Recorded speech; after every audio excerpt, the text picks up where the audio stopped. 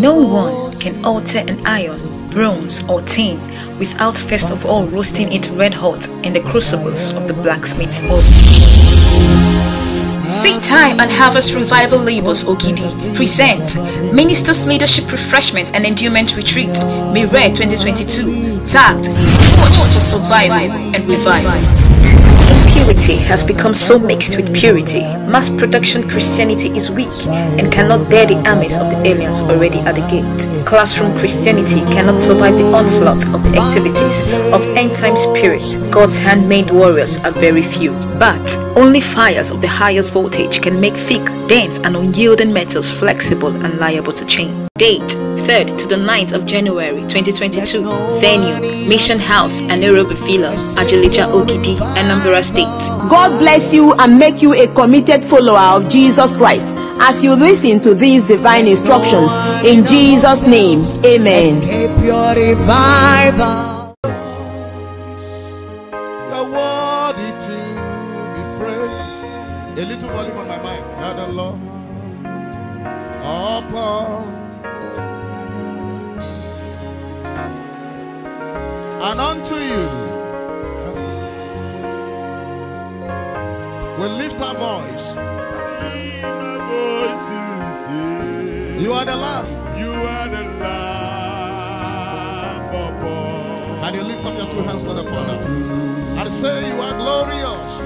For you are glorious.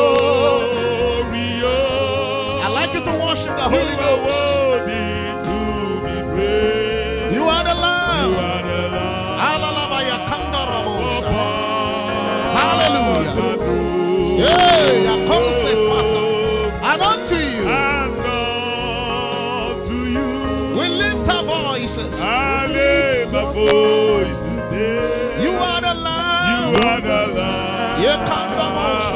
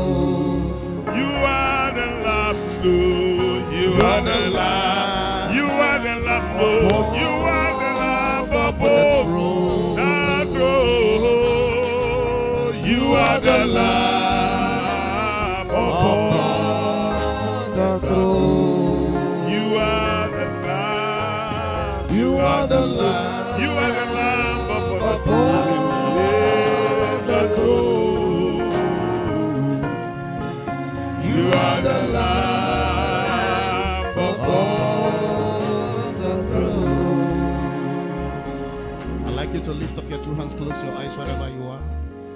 And I like the voice of adoration. If you have a mouth, please, in the next two minutes, can you just lift up your voice wherever you are? All over this camp, can you lift up your voice? Begin to worship the King of Kings and the Lord of Lords. In your language. Let the adoration rise. Let the praise rise. Please, can you increase the tempo of your worship? Can there be a holy noise in this camp?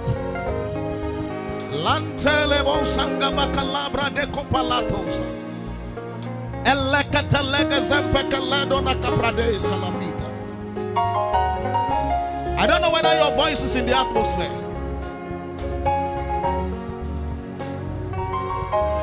There is a frequency we must touch tonight. I'm still waiting for somebody's voice. Lift it up and worship.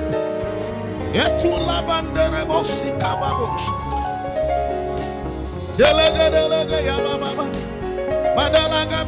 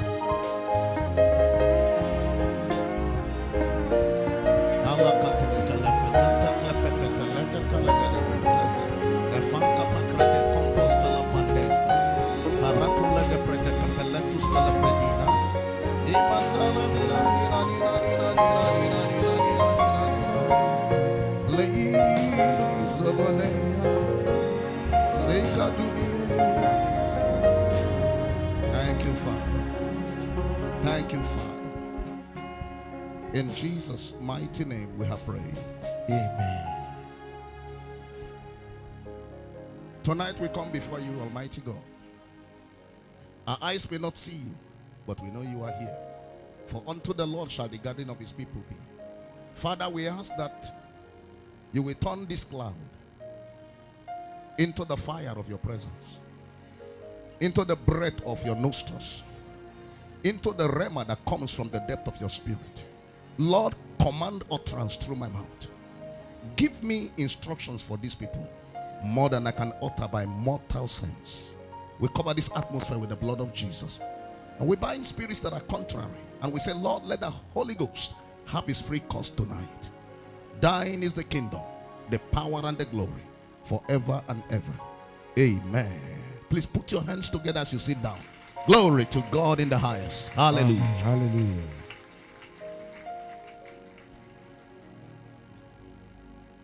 It's always an honor and uh, a delight to stand and preach on this very wonderful and hot altar of the Lord. I've been thoroughly blessed since I came. I bring greetings from my family, the ministry team in Kogi State, and I pray that this piece of time that we have will bless every head that is here in the name of Jesus. Uh, Brother Emeka, who gave this testimony, there are quite a number of things that came out of your testimonies that are like some, uh, you know, some leverage for some of the utterances I believe that God will be releasing to us this night as we we we look at the implications of being forged and being furnished for survival and for revival.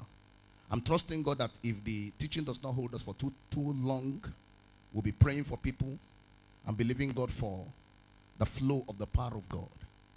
And that's consistent with the burdens I have. And uh, Brother Emeka, the Lord bless you.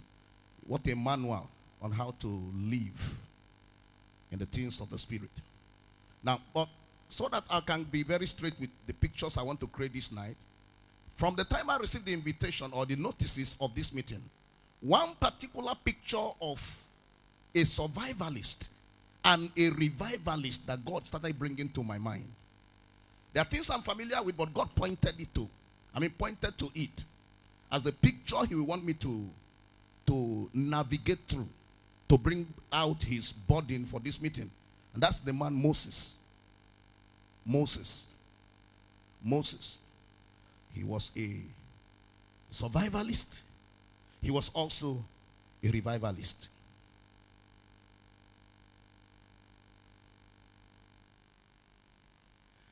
I will also want to echo to you tonight before I go into Moses. The first time I stood on this altar to preach, there was a prophecy that came out of my mouth. That prophecy has left my mind. My uh, it's not something I think about. But just about a day before I came here, or the very day I came here, I started hearing the echo of that testimony. I mean, of that prophecy. And this is the echo of the testimony. The testimony said, People of the land of the rising sun, this is your hour.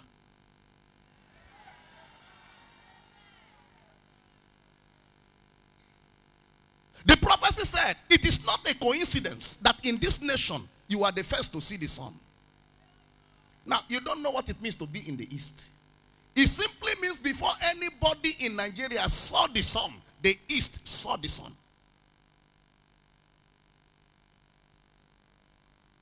And those of you that are elders, that hold the corridors of this altar and the pillars of this altar.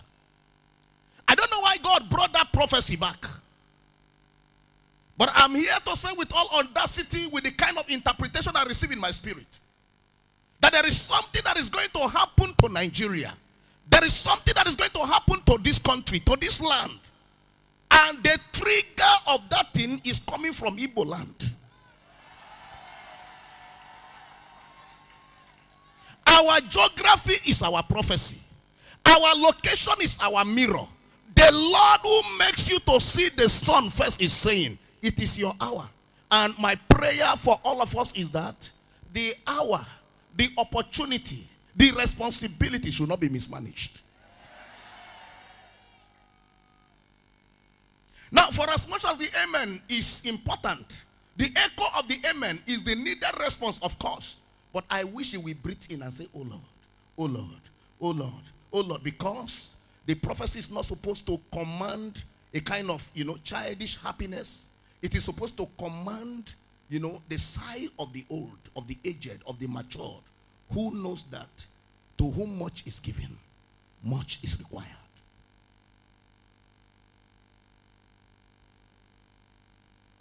It's not a small thing to be part of these descriptions of the Spirit, this land of the East.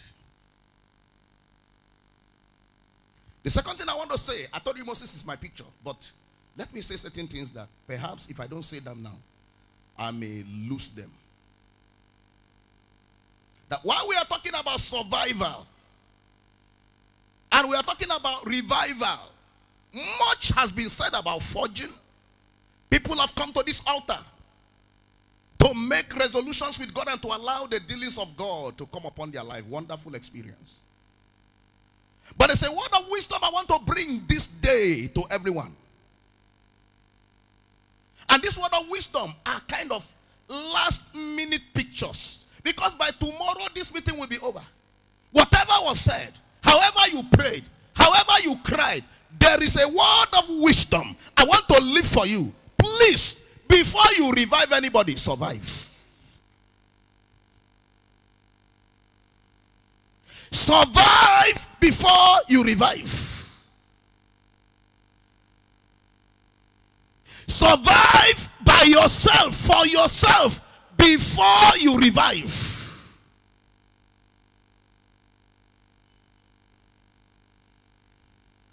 There's a huge percentage, there's a huge percentage of things that have to do with your life that does not relate to helping anybody, delivering anybody, saving anybody, but to be sure that first of all you are secured by yourself and uh, there are lines you come where whether it's your brother, it's your mother, it's your friend, it is first yourself before anybody. There is the story, I will, I will tell you a short story, and that story is this. There's a town called Ida in Igala land. And there are there are trade, there's so much trade between Igala land and Onitsha. One of those trades is normally across the river Niger.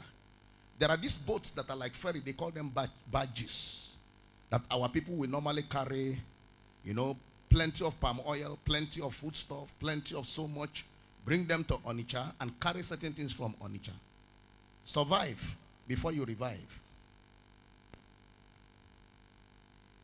One particular time, a very big barge left Ida on the way to this Onitsha. They will normally begin to travel in the night. And maybe somewhere uh, in the morning hours before, uh, you know, the sun rises somewhere, they will arrive this Onitsha. I think they came to Onitsha. They did their enterprise. They got their goods from Onitsha. They began to come back to Ida. In the middle of the river. Far from land. Far from everybody. Far from any hope. Suddenly, the, the, the badge caught fire. And as it caught fire, you know, it was carrying diesel, plenty of diesel in, uh, in, in drums.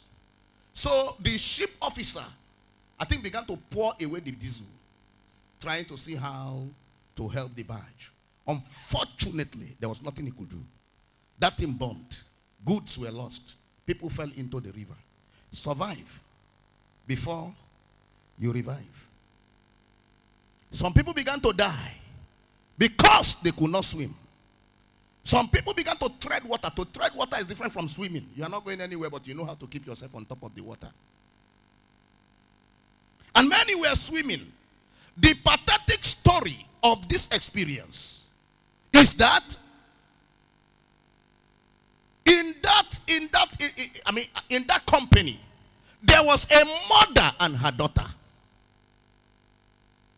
And they were caught in this in this environment where they were in the middle of the deep far from land far from help far from anybody. And you see this was their experience. Their mother was a mighty swimmer but the daughter could not swim.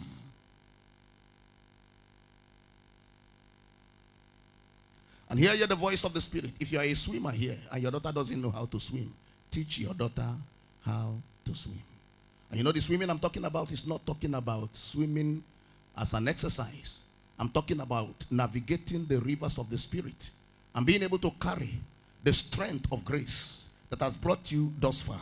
But let me leave that story alone. I mean, let me leave that, that piece alone and let me continue with the story. Right in the middle of the river, with all the strength of a mother, this woman carried her child and began to swim. And as they were swimming and going, the woman will get tired. And then they will stop in the middle of the river. And she will be the one to hold the, womb, the daughter and be treading the water. They are not moving anywhere. After she rests for a while, she will carry the daughter. But Ida was miles away. She did not know what to do. Those that were alone were still swimming. They were still going. The woman at one point started getting tired. She looked at the daughter. The daughter looked at her. She didn't know what to do. At home, there were about four other children waiting for mama. Right here, there was one daughter right in the middle of the river who cannot swim. She cannot swim in the face of this deluge that came upon them. And the story is so touching because the sacrifice came from the mouth of the daughter. At one point, the daughter looked at the mother and said, Mama, you know how home is. I know your heart cries for me. I know you are the one that gave birth to me. But, Mama, if the two of us die here, what will happen to my siblings?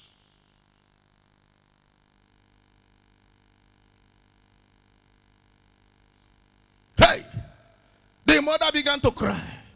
She was still holding the girl. But she knew that she was losing breath. She knew her shoulders were getting weak.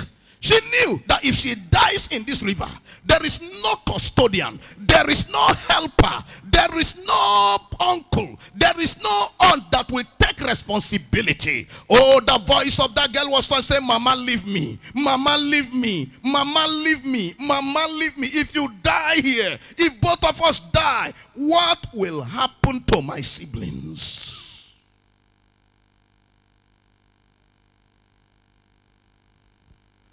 Under the heat of that pressure, at one point, the woman allowed pity, reasoning, calculation, feelings to give way. And this is the wisdom. Survive first before you revive anybody. She looked at her, at her child. The child was weeping. The child was crying. It was at the point when the child lifted up one hand and did like this. Mama, goodbye. Mama, bye bye. That she released the girl and did bye bye. The water carried the girl and she swam back, surviving alone, but to take care of posterity, to take care of children. And I'm asking you, in the face of what is coming upon this earth, can you swim? Can you survive? Can you tread the water all by yourself? Emeka's story is a very wonderful story. Now, as soon as I began to read that, um, uh, hear Emeka, several things began to happen in my spirit. This man is a survivalist.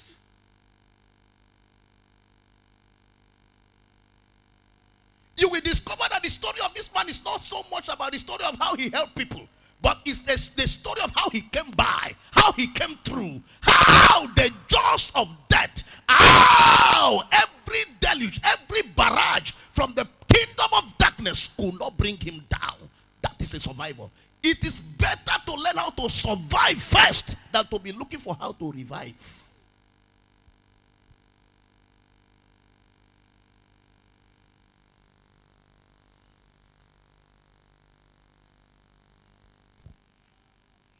If I follow Emeka's story, the, the meeting will change. But Emeka has spoken to us that whatever is after you, there is a corridor of possibility if you are a survivor. If you have the arsenals of grace, if you have the arsenals of the Spirit of God. And you see, even though this is a minister's story, uh, a minister's leadership retreat, one of the things I cherish whenever I come here is to begin to dissect the crowd. And I'm aware that it's not everybody here that is a pastor.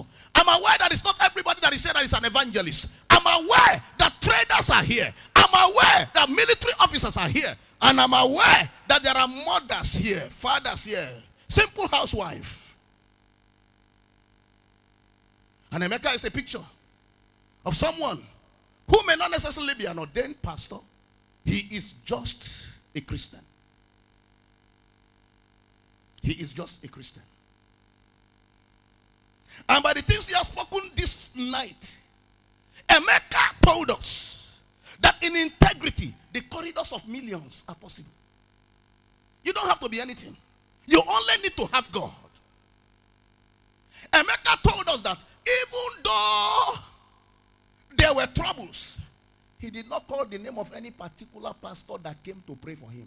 But I heard him over and over saying, We did not sleep. That thing entered my spirit. We did not sleep. It was not the prescription of a prophet. And I'm telling you, that capacity that he had by himself and with his precious wife to be able to keep the night in the day of battle, that is the spirit of a survivor.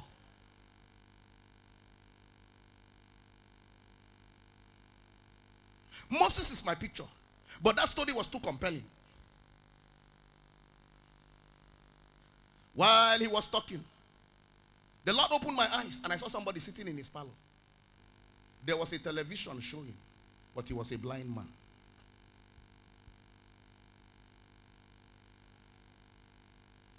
There was such a compulsion in that testimony that, that has brought this utterance that I'm bringing before you. That one of the capacities learned from the story Learn from the story. Learn from the story. What I'm saying learn from the story, as I'm looking at everybody, not everybody is a pulpit man. Not everybody is a Bible dissector. Not everybody here is a prophet. Not everybody here is an apostle. Even from the questions people ask, you know that there are toddlers here. You know that there are growing people here. And I'm telling you that yes, there is a portion called reviving. But the first thing is surviving. And one of the kids of revival, I mean of survivor, that our brother demonstrated, demonstrated, and I want you to write it in your spirit and collect it as pictures to carry home, is when he said, A voice spoke in my heart. Something dropped in my ear. I perceived. And the question that the Spirit of God began to ask in my heart, as I watched that man sitting before that television, television is showing pictures, but the man cannot see. Maybe probably he can hear. You see, how to survive? There are some of you that are here. The voice that came to Emeka has entered your house a million times. But the frequency to hear, mm-mm. the pictures that he saw in his spirit has appeared on your television. But when your television is disconnected from the decoder, how will you decode? I'm sure that this testimony will be part of what we'll be using to pray. Because the hearing ear and the seeing eye, the Lord made them both. There are testimonies upon testimonies of people in our testament who for ears that for ears that hear and for eyes that see, they have survived. One of my young men called Solomon, little boy. He was standing doing evangelism or counseling or talking to somebody, and that person happens to be a lady. I don't know how to, you know, nobody can forge an ear for you. The one that forges the ear, the one that forges eye beyond this natural eye, the name of that person is the Lord. Where Solomon was standing talking with this girl in Abuja. What most people ignore and they can't hear, which is that silent voice, that distilling, that distilling signal that has produced men that have sharp antenna. It's not a noise is an awareness. An awareness came to him. My uh, Solomon, shift from where you are standing. And he shifted. And as he shifted and stood, the girl that was talking to him, probably interested in the discussion, shifted along with him. Two minutes after he shifted, a vehicle lost control. Everybody that was standing on that place, that vehicle cleared them. One died instantly. They took the rest of them to the hospital. As simple as this may be, our survival kit as we leave this camp is that if you are deaf, you won't survive. If you are blind, you won't survive. We have come to one mountain where, as we hear from this altar, we, we will need to begin to beg God and say, Lord, before I leave this camp, what this brother said, that in the midst of my trouble, I heard. In the midst of my trouble, an idea. In the midst of my trouble, something distilled into my spirit. That Lord, you will make me spirit sensitive. You will quicken my ear again. There will be no confusion about thus saith the Lord. For a little child as little as Samuel, there was a voice of God. If you spoke to Samuel, Lord, out of mercy, it was not because Samuel did anything. Samuel did not do anything. Mercy just located him.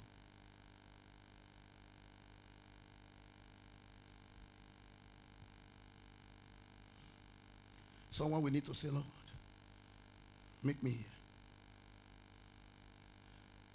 Time will fail me to talk about the humility of this brother. From million to Akara. From million to Akara. Not looking whether anybody is looking at me. Or what will they think. Or they are laughing at me. But it was a corridor he must pass through. Instruction will always be your life. And I perceive there are some of you that are here. That that's what is halting you. What God is asking you to do now. To enter the next level. Is like leaving millions to sell Akara. But when you look at the instruction, and you remember Boniface, and you remember Okonkwo and your friends, you remember the club where you used to, to make uh, to do contribution. Your obedience is halted by your pride.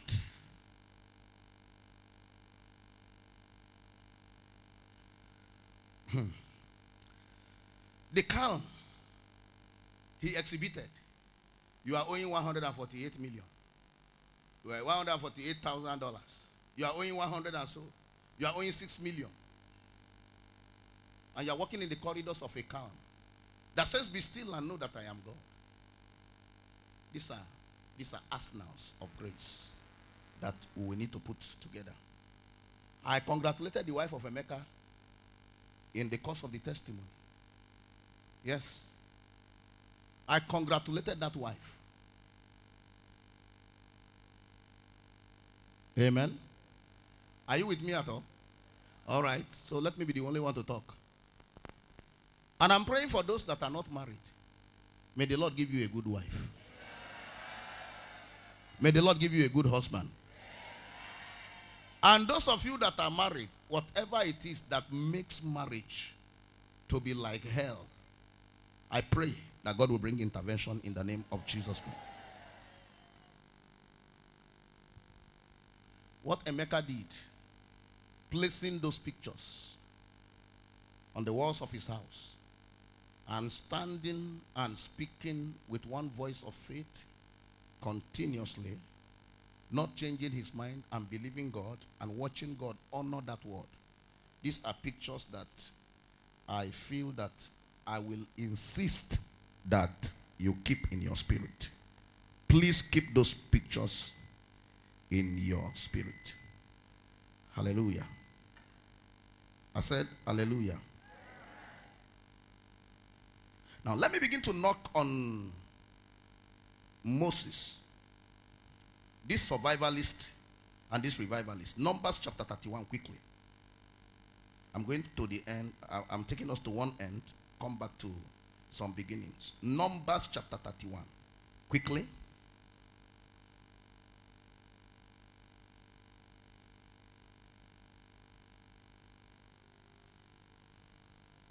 I'm taking from verse, I'm reading from verse 48, 49, and probably verse 50 only.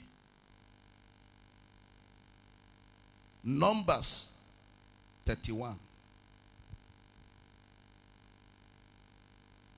If you are there, I want all of us to read together. One, two, let's go. Uh, please, I want to hear your voice like you are hearing my voice. One, two, go. And the officers which were over thousands of the host, and captains of thousands, and captains of hundreds, came near unto Moses. And they said unto Moses, Thy servant have taken the sum of the men of war, which are under our charge. There lacketh not one man of us. We have therefore brought an oblation for the Lord. What every man had gotten of jewels, of gold, of chains and bracelets, rings, earrings, and tablets to make an atonement for our souls before the Lord. Glory to God. I said, Glory to God. Now, what you have just read is a, is the test, is a testimonial of the ministry of Moses. Now, permit me to say that between when God started handling Moses and this particular time, about a hundred and so many years have passed. Or about a hundred years. Let me be safe. But at this height, there's this testimonial of Moses, the man of God. He began as one man. He began as one man. Don't forget. Remember the first thing I said, you survive first before you revive. He began as one man, but at the height of his of this ministry, there were certain there were certain provision that God had made. The Bible talks about captains. He had captains. The Bible talks about officers. He had officers. Ministry from one man had grown into a nation. Advice from God has brought up certain setups. There were officers available to be sent. There were men running. There were administrators. There were people under Moses. And Moses, the man that had the oversight. I don't know whether this is an everyday thing. But the Bible decided to capture this testimonial. Talking about survival within the camp and within the people. He said, please check the people for me. They came out of war.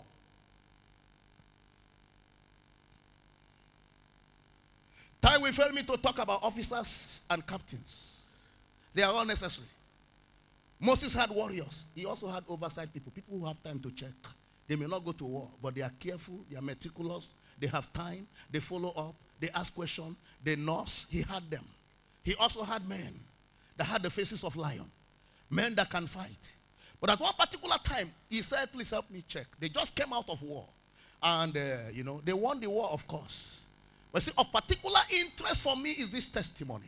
That when he began to ask, please check. Anybody there? They said no. Not any young man. They said no. One of the women. Ah, those in the camp are safe. We're talking about those that even went to war. Not one man died. Bullets flew, but it didn't touch us. Arrows flew, but it didn't touch us. We fought. We brought them down. But they didn't bring one of us down.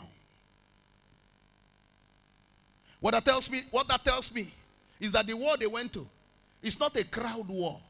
It's a war of human beings that were taught one by one how to survive. So much that even if we are going as 10, all of us are expert people in surviving. We are also men of war. We are men that learn how to win. And I want to submit to men of God and to submit to myself and to submit to all of us that being trained, being brought up to survive by yourself, which is your personal revival, being trained to go out and revive nations, which is revival. These two things you can't play with. But like I said, survive first before you revive. Our Lord Moses, did anybody die? Mm-mm. Nobody died. Everybody survived. And I think for this revival that God is bringing to the land of the rising sun, this is not just a team. That is the target of God. Because wars will arise. It will be regional wars. It will be war against the principalities and powers that have the siege of this country because the proper land of the rising sun. This is your hour. I can't remember the first time I came to Milre, but that was one of the first utterances that the Lord brought, which I have forgotten, but He brought again. It is your hour to bless the story of revival again. It is your hour to carry the church to war. And there is none of us here that is not implicated. From little children to young people, there is none of us here that is not implicated from adults to old men.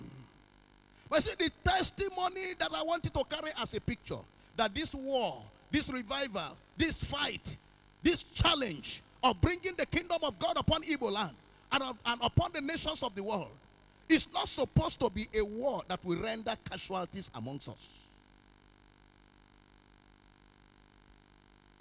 None of us is supposed to die under the sword of the enemy. None of us is supposed to die in the heat of the battle. All of us are supposed to comfort with a testimony. A testimony of survival. A testimony of revival. But listen to me. This is your survival. If you are here by reason of all that you have heard, all that you have eaten, and whatever God is saying, you have come to a place of your personal resolve. And the grace of God has visited you. And you are able to, to tell yourself, there is nothing that can bring me down. Sin cannot bring me down. Sickness cannot bring me down. The devil cannot bring me down. There is no village that can swallow me. There is no land that can kill me. If you train to that point, then this meeting will have succeeded.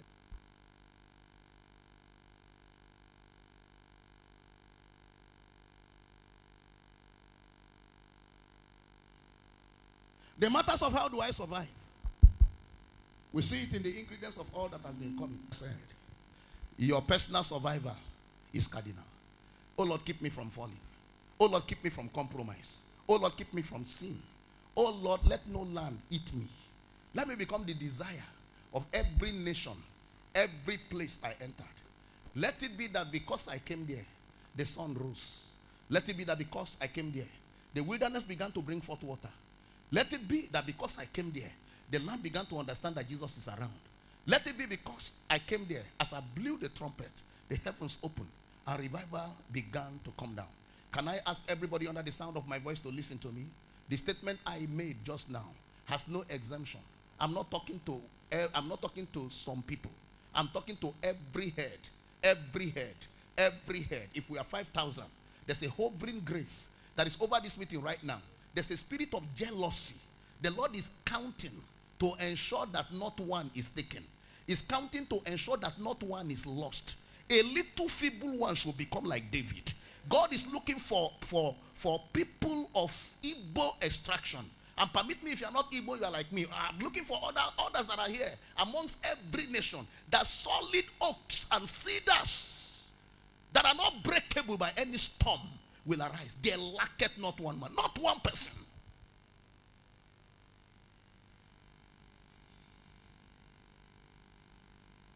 Before I push forward from this lane of thought, hoping that you are listening to me, it is yet but one day when we will go home. Very soon we will close this meeting. Can I beg you? That as good as our passion, I fell down flat on my face. I wept. I cried. I shook. I made a decision. Somebody pray for me. As good as they are. There is this maturity that is called the, the ability to say no when necessary. That does not come from shaking. It does not come from falling. It does not come from tears. It comes from revelation and understanding. It comes from the fact that you so know that, well, the way I am, where God has brought me, it is too late for me to go back. Please, emotions will not work after here. Mm, mm, mm, it's not an amen thing. You need to understand. Emotion. He, he, hey, hey, hey, God, God, God. Yes. Whenever God is moving, emotions are permitted. Tears are permitted. Tears have coerced my eyes over certain realities I saw. Not that I wept, but you see, glistening my eyes. But I have come to learn by experience that when you begin to face the reality of life, when we share the grace and you are back to the village, back to, to wherever you came from, back to your to your to your to your workplace, I want to submit to you that it is not your shaking, it is not your tears, it is your resolve. And that resolve is somewhere inside. I can't point to it. It's your decision. Perhaps this story might, might help somebody. A man of God was preaching, he made an altar call. Only two people responded to that altar call. Only two. Out of everybody, only two. Well, the man of God accepted it like that. But the two that God showcased Perhaps he restricted every other person so that the drama can be can be open. So that they can evaluate these two people after some time. As soon as they came to the altar, one threw himself, uh, himself on the ground. Bah! He was crying. He was weeping. He was shedding tears. Very good. Very wonderful. Please, we, we will not discredit the brokenness that comes from the Holy Spirit. We will not discredit the tears that people share, share at the altar. We will not discredit the shakings that come.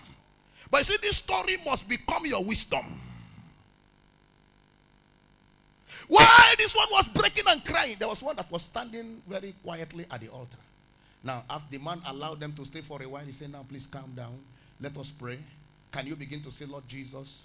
When they say, Say, Lord Jesus, the other one say, Lord Jesus. This was, Hey, Lord Jesus. And in that tone, he made his confession. He made his resolution. This one said the same thing, standing calmly. I don't know why. But you see, it's making me to give you a picture of what I'm saying. That they stood for six months. At the end of six months, the one that was falling, the one that was shouting, the one that was twisting, backslided. The one that didn't shed any tear, that stood maturedly and was counting to himself as a man. And if you are a woman, I mean if you are a woman, like a woman, an adult woman, Haba, at this point of life, I need to take final decisions. We are but one day to the end of this program. You have wept, you have rolled, you have cried, but hear the word of the Lord. Take an adult decision.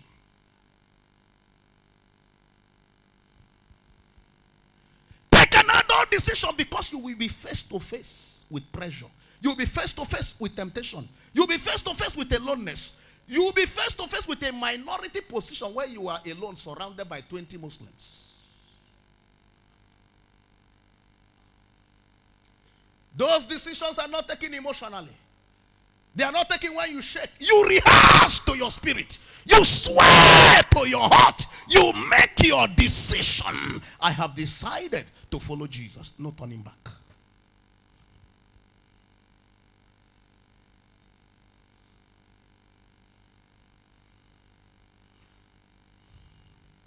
Our target this night, like I said, is that at the end of it all, we'll be able to say, not one was lacking.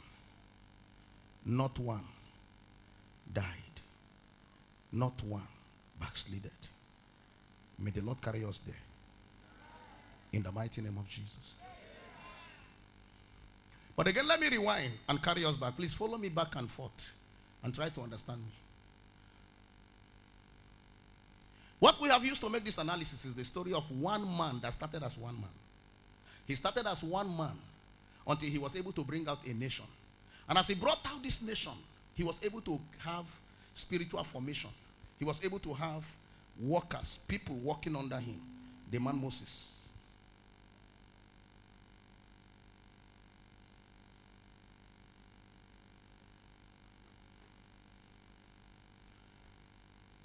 I like to draw us back a little to this one survivalist who suddenly became, who suddenly became a nation. Who had these officers? This Moses, who was able to come to this point where he had this testimony, not one died, not, not one was lacking. I like us to use him as a case study of the kind of pictures we paint and then we'll begin to pray. Lord Holy Spirit, open our eyes to see. Now listen to me. Listen to me carefully. Everybody is born into life, not choosing his or her own season. Anything you are born into, that is what you met.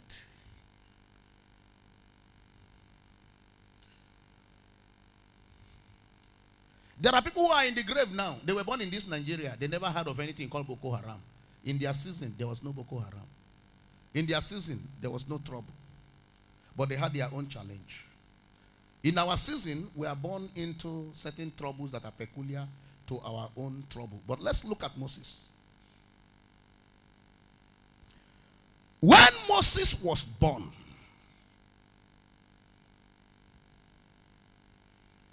his father was a slave, his mother was a slave, his sister was a slave, everybody in his tribe was a slave. We're talking about this survivalist who suddenly became a revivalist, Moses, who brought out a nation. As far as life, opportunity was concerned, there was nothing like that. In the time of Moses, there was a spiritual figure that is the figure of the adversary of every destiny. A tyrant king called Pharaoh who had made a decree that every male child that is born must be thrown into a river infested with crocodile. Let crocodile eat them or let the river carry them.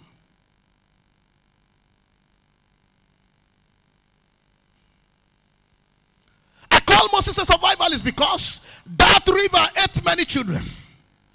Mothers wept as they saw their little boys dying in the river. And this was the plan of Pharaoh. You know that in the in in in in, in life, progeny, prosperity, name, lineage, nations are not reckoned unto women. It is unto men. So the target of this man is that if I kill all the boys, very soon there will be no there will be no Israeli born all these Egypt, all these all these Israeli women will soon become the wives of Egypt, and then we have one nation without trouble. We can't have a divided Egypt. We can't have Israelites here. And just like what we watch happening in our country, and it looks as if there is there are some background plans, some background plans to swallow us, to bring a culture that is that is not our culture, to impose a religion, just like we are threatened. That is, that is how it is. From generation to generation, tyrants arise, fighters arise, people that want to kill revival, people that are enemies of the church. That was the situation. But when Moses was born,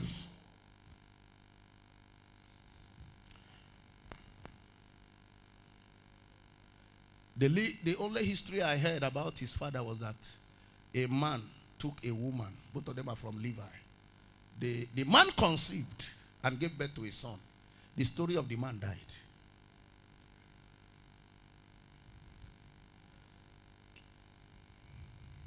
The first handlers of Moses' life were women. And that's significant. I'd like you to follow me. The role of the father of Moses is not mentioned in those in those preliminary infantile stage of Moses' life. And that is very figurative. Moses came out of a maternity. He entered into the hand of his mother. It was his mother. It was his mother. The Bible says that while the king was raging and looking for who to kill, Moses had a mother who saw that there can be a king on the throne who wants to kill children. But this my child is not for any crocodile. This my child is not for the sword of Pharaoh. And by faith, the Bible says, he was able to keep this child for three months. What she did in those three months, we are not told.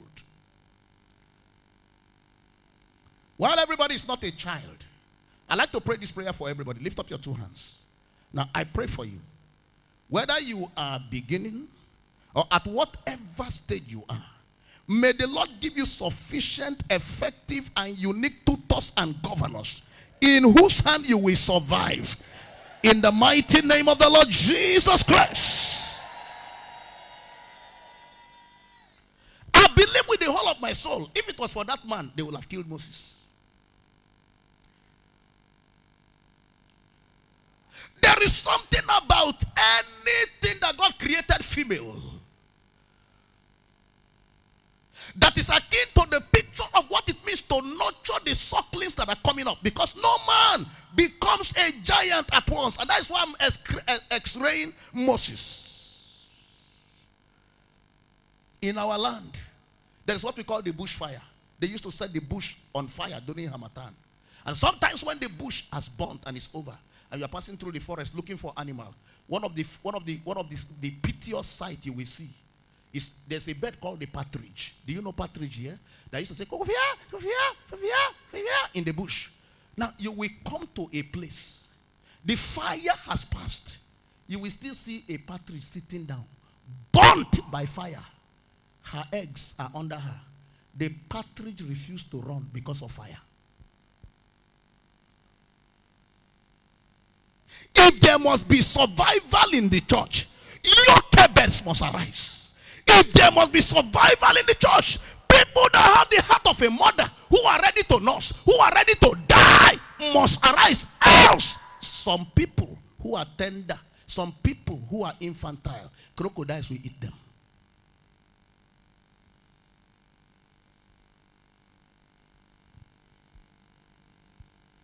Every disciple, every pastor, every mother, every father, everyone under the sound of my voice. The Moses that said, I lack not at the beginning, he understood that he also survived because there was somebody that cared.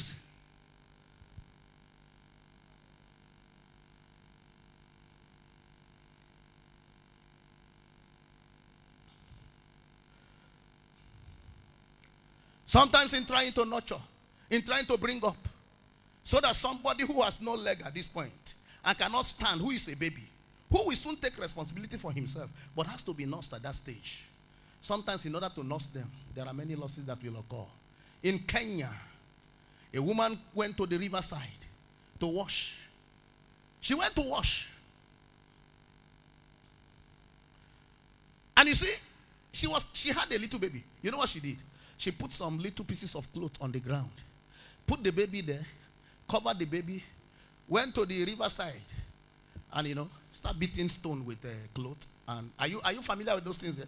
Now washing and washing, washing.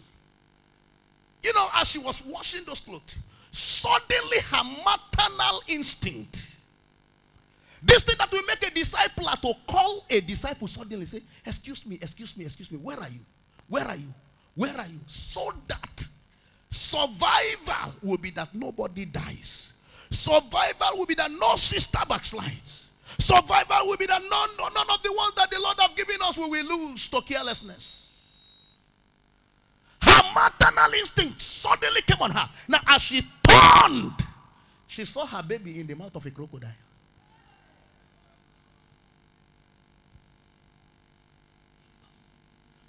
Don't miss my point. My point is that there are people at a stage of life. We're talking about surviving. And we're talking about revival. Sincerely, they will need tutors and governors to first help them to be able to stand. Like Jochebed stood for little Moses, who now become, became a commander of captains, a commander of officers. They start, Moses started from somewhere. When this woman turned, she saw the croc, her baby in the mouth of a crocodile.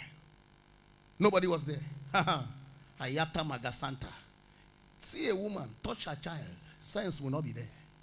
The woman flew, ran after the crocodile.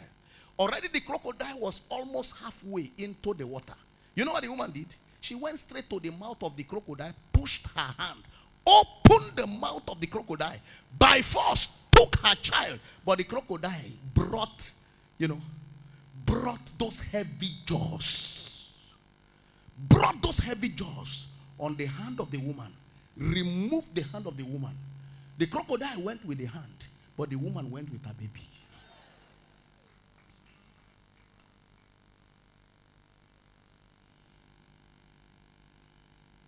She survived. And her baby survived at a price.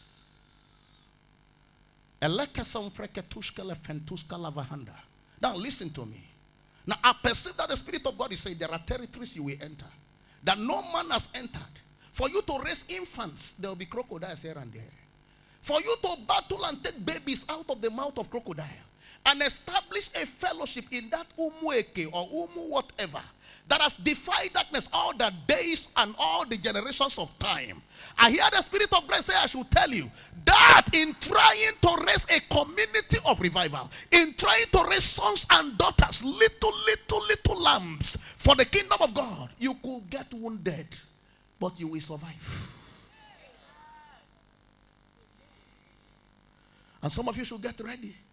Get ready to be like Jochebed. Some of these little ones who others may despise, who may be looking like nothing, will be counted among your jewels when you enter the better land. They will become part of the officers you will raise. There is nobody that is like a man you raise. Hired people don't work revival. When you begin to pay the price of raising children by yourself, catering for children by yourself, scars on the right, scars of the left, the scars of battle, the scars of battle. If at the end of it all they are able to stand, you will have a host.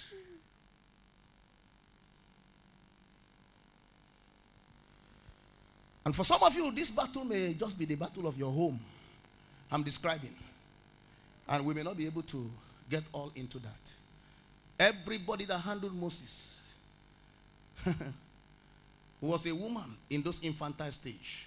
Not because women only are created to raise people, but I believe it's a prophetic picture of the kind of heart you need to handle babes, to handle sucklings, to handle upcomings, to handle those that need to be helped.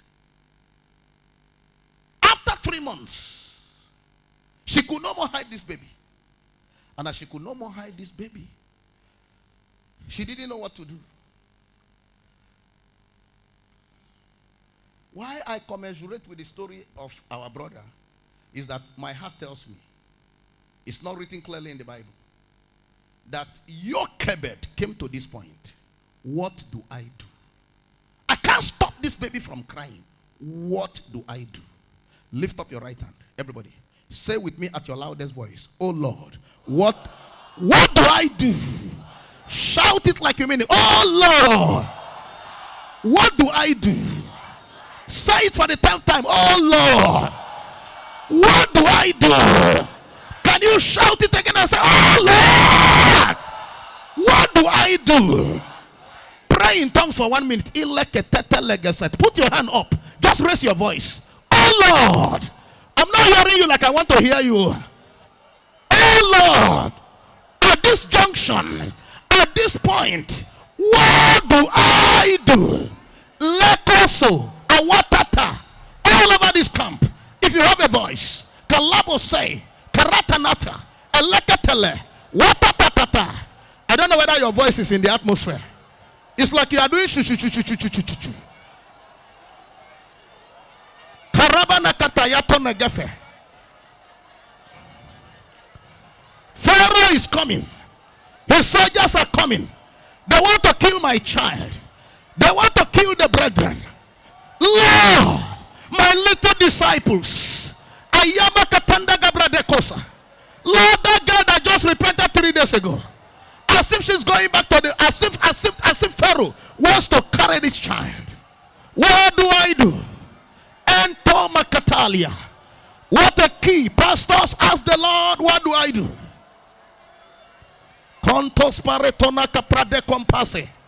Imola katanda gabrada. If you can pray in tongues, can you increase it a little? Can you make it louder than what you are doing? From your belly, from your bowel. Oh Lord, what do I do?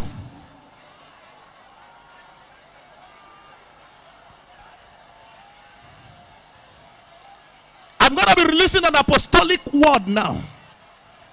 So please pray enough before I pray the prayer. Awata bababalaka magada yatanda gabara. I'm a little boy. I'm a little girl. They say I should bribe. They say I should sleep before they give me a job. My father is threatening me. He's asking me to pack from the house. The rage of Pharaoh is all over. Oh Lord, what do I do? Emeka story is my confirmation. Now I want to pray for you. In Jesus' mighty name we pray. Now lift up your two hands, everybody. Under this grace, I lift up my voice to the eternal Father who owns this atmosphere. Under the labor and the groaning from the crucible of the altar that bettered this meeting, in agreement with the eldership of this place, I pray for your ears, I pray for your eyes. Anytime you raise up your mouth and you say, Lord, what do I do? Let there be light in the mighty name of Jesus.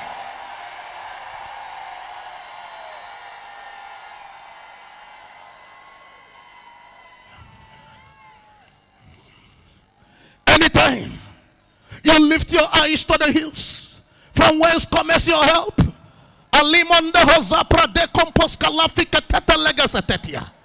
May pictures appear in your heart. May voices appear in your spirit. May light appear in your heart in the mighty name of Jesus.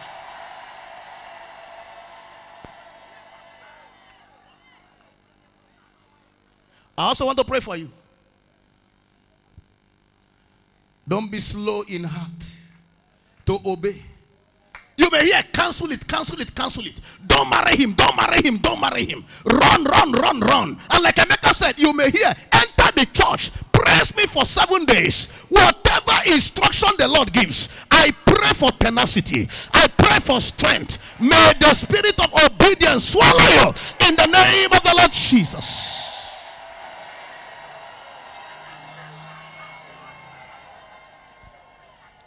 Now sit down and hear me.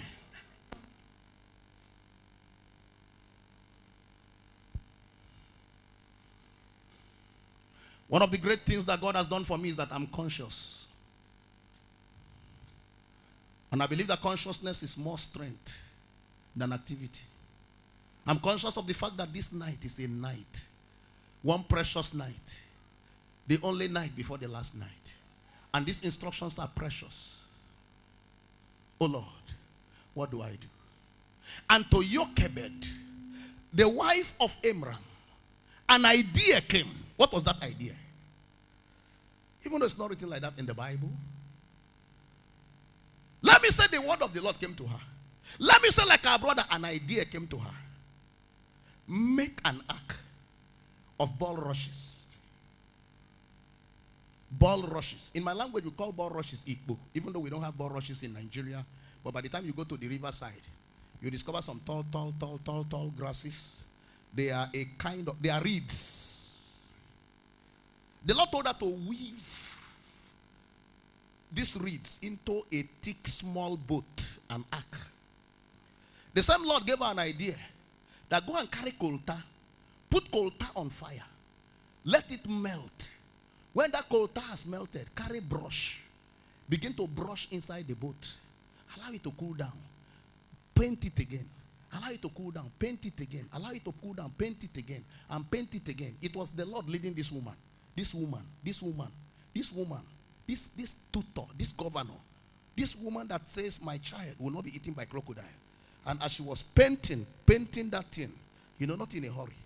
She painted the first layer, painted the second layer until outside you see reeds. Inside you see a plaster, like you plaster a house. Not too heavy, but you see a plaster of, of coal tar inside, inside the boat. When the thing dried up, I was not there. These are my pictures. Jochebed now carried a, a, a bucket of water, poured it inside the ark, and lifted it up. Looked under, it was not leaking. Looked under, it was not leaking. She now saw that that ark was waterproof. Water cannot enter. You know, that was the wisdom of God. And I'd like you to hear me. So that in the day of your visitation, you will understand the wisdom that comes from on high. You know, I have been to Egypt physically. And the guy that was taking me around in Egypt called Mina. He spoke to me that there is something that is not in the Bible, but they know. That the crocodile in the Nile, they eat human flesh like fire. How much more the, the body of a, of, a, of a little baby? But there's something about the crocodile. They hate the smell of bulrushes. They don't like the smell of that grass. They don't stay near that place. So the Lord gave this woman a wisdom. She made that ark. And after she made that ark, she sealed that ark because the other enemy was water. Her enemy was crocodile and water. How will crocodile not eat my child? How will water not swallow my child? The Lord said, bulrushes and, and, and, and pitch. I'm crying in my heart. You see, in the journey that is before us, the journey that is before us, Great in the man spoke about reading, reading, reading, reading, reading. Yes, sir. You, you, reading simply means digging the well of wisdom. Digging the well of wisdom. Digging the well of wisdom. That's one side to it. But i like you to know that there's a stream of, gra- of grace that is called the word of wisdom. That has nothing to do with reading.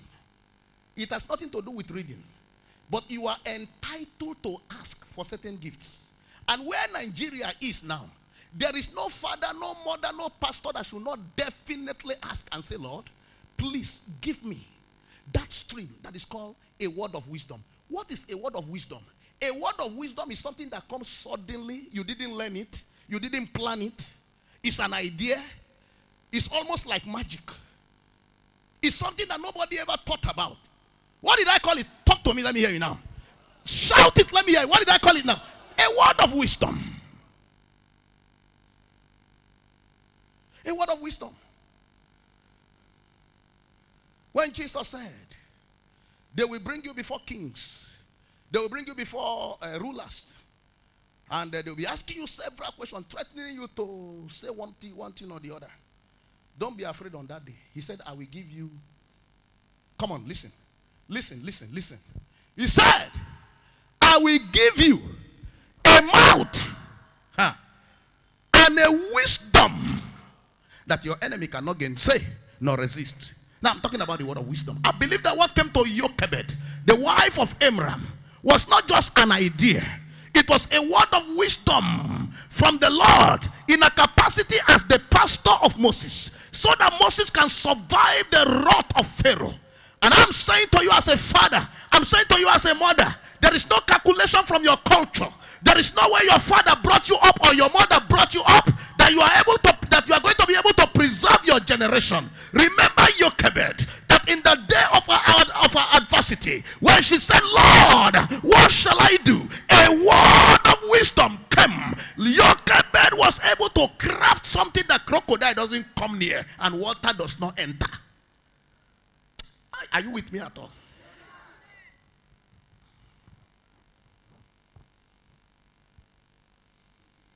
We are talking about survivor. Survive first. But like I gave you the picture of this woman. When the waters came, her daughters could not swim. Don't be like that. Ask for grace. Ask for wisdom. Ask for, for, for light on how you can survive. How your children can survive. How your family can survive. How your church can survive. How those under you can survive. A word of wisdom from the Lord told her, create an ark, put slime, put put put pitch and slime, so that water will not enter.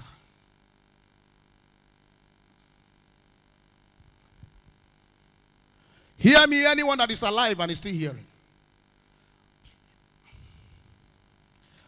It does not make sense. It does not make sense. It does not make sense. Oh Lord, it does not make sense. How can it make sense? For me to carry my baby to the very waters where they say they should kill. How can it make sense? And I'm here to let you know that sometimes when the word of wisdom comes from the Lord asking you to do something, when you view it from your sense point, what God is asking you to do will negate your personal wisdom, will negate your personal thinking, will negate whatever you feel is the better thing to do. But when Jochebed saw she couldn't, and it became clear to her that this is the next action, she took that baby and she brought that baby to the very Niles where crocodiles eat babies. And she went to the bulrushes, the flags by the riverside, and she placed that ark there, threw it to the Lord, and just left it there. If Moses was three months, Aaron must be like four years. I'm the one, I'm the one even adding. It means Miriam must be like six years. Let's add it to her, maybe eight years at the most. Follow my mathematics. They had three children. The firstborn was Miriam. The secondborn was Moses, uh, was uh, Aaron. And the thirdborn, just coming, was three months. So if the baby is three months, no matter how the family planning is, so the next one should be like four years. The next one should be like six years old. We are talking about survival, surviving for revival. And look at me. The person that this woman asked watch the baby, let it challenge you.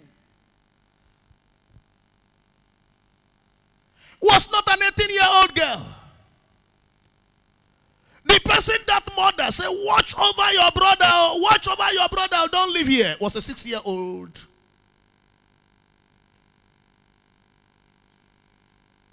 There is this labor for survival, and I'm trying to paint pictures so that we go back home and work. We go back home and take responsibility. Oh my God. My little teaching, my little understanding tells me that if a child, everybody hear me, please be with me as we learn together. If a child is two years old, you can't teach that child more than two minutes. Psychologist, am I right? After two minutes, the attention span of a two year old child is over.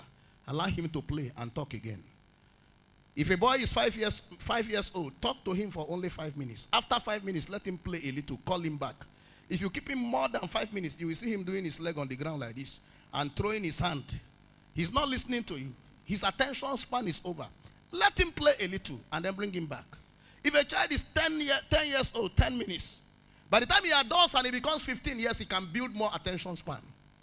So my matter is, I don't know what Jochebed did to this six-year-old girl. They told her, don't leave here. Stay here and watch. We are talking about survival. And the picture I'm painting is look, whatever you do with yourself, if your children are not carried along, survival will end with you. But Miriam stood her ground. Her young mind wanted to play. Her young mind wanted to, her young mind wanted to jump. But there was something that God had done to this little girl. That when her mother said, Here you stand, you must not move. Miriam, the son of Amram and Jochebed, stood as a faithful watcher over the little destiny of a helpless brother.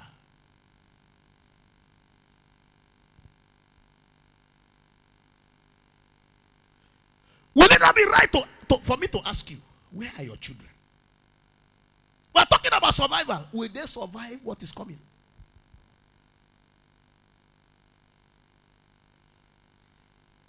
There are some of you here. The only way you can ask your child to sit down is to give the child a phone with cartoon. That's all. Sit down, Junior. He said, Mommy. Sit down, Junior. He said, Eh? Sit down, Junior. He said, eh, eh, eh, eh. Mommy, Junior, come back. He said, Eh? And your visitor is a dignified visitor. You're trying to sit the boy down. The boy can you say, okay, come and come and watch cartoon. Come and watch cartoon. And the boy will come and carry cartoon. The quietness is generated by cartoon to distract the boy. You are losing that child.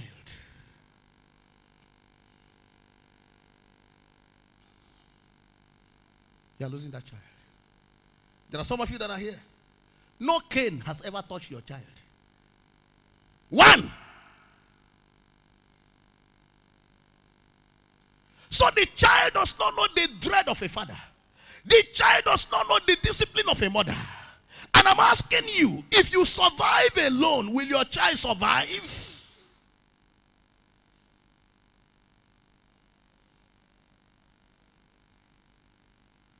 The man to whom testimony was given, we lack not one man. That was the family he came from. One mother that is a strong disciplinarian, yet a lover of destiny. As Miriam was standing there, listen to me, everybody. Listen to me quickly. Please give me your attention. As Miriam was standing there, the Lord who knows the list, the, the Lord who knows the written destiny of this boy, That even though this boy is a little child, he is the one that will shake the foundation of Pharaoh. He is the one that will lead Israel. The Lord now began to, uh, to, to, to organize a connection. And that connection was that there was a princess, the daughter of Pharaoh, coming to bath. And as that woman was coming to bath, again, women, she was a woman, escorted by women. And then she now saw the ark. And as she saw the ark, it was still a woman that she sent to go and pick the ark, one of the maids. The maid came and carried the ark and brought it out. They saw Hebrew blanket. And for almost four or five hours, this baby had not sucked breast. That I'm sure that was what attracted attention.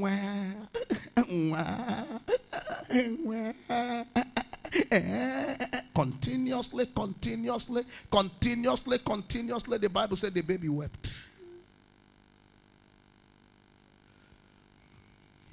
Even though it was her father that decreed that they should kill, as soon as she saw the baby, heaven did like this. Compassion entered the heart of the woman. She said, Oh, this is one of the Hebrew, Hebrew, this is one of the Hebrew, Hebrew sons, Hebrew boys. Hey, what a fine boy, what a fine boy, what a fine boy. Out of the Bible, according to tradition, this particular girl, this particular lady, in her own experience, she was a barren woman. Her breasts were dry. She had never sucked a child. So immediately she saw this child. The instinct of owning a baby came upon her. Hey, she said, Kai, maybe it's the gods that brought this child to me. While she was still wondering what to do, please look at me. Look at me again and again. A girl of eight years old at the most, a girl of six years old, an idea came to her. This matter of something coming that our brother Emeka triggered. We must hook it as one of the arsenals of survival. The girl began to take one step, two step, two step, three step. Audacity. Can I digress a little? In my ministry, we used to use this story to teach confidence. Confidence is not pride. Inferiority is satanic. What anybody defines you can reduce you. In the whole of Egypt, everybody that is born Jew, Israel, no Jew that time, Israel, Israelite, son of Jacob, you are called a slave. The opposite of a slave is a princess. Within the corridors of protocol, a slave is not supposed to approach his princess. If, I, if soldiers are there, the next thing that girl could see is her head flying. Who are you? I don't know what Jochebed did. I don't know what she did to Miriam, to this little girl who sees oppression every day, who sees them kicking the father, say, You nobody, pick this and kick that. I don't know what Jochebed was able to inject in the Hebrew spirit of this girl. That this girl, though a slave, took bold step and stood before the princess and said, Excuse me, ma. Do you need somebody to nurse this child? That's a word of wisdom.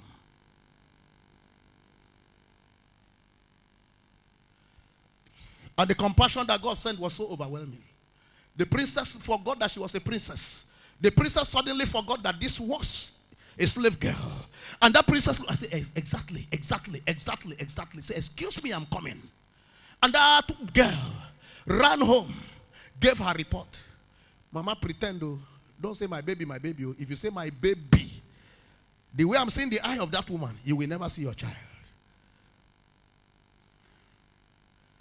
She came and said, My princess, good afternoon. This guy said, You look, you need services. He said, Yes. This is the baby that the gods brought for me. Can you nurse the baby? How we pay you for it? He said, No problem. But underneath the dress, the breasts were swollen. Underneath the, underneath the dress, the breasts were paining. Because for hours, that baby had not sucked. The mother does not know where to expel. So with endurance, say, Yes, my princess. Anything you say, I will do for you. Say, I'll pay you. Yes, sir. Yes, my princess. Yes, my princess. That baby came back. And soldiers were notified. There's a boy that the gods brought to the daughter of Pharaoh. He's in 1111 house. Somebody is hired there on pay.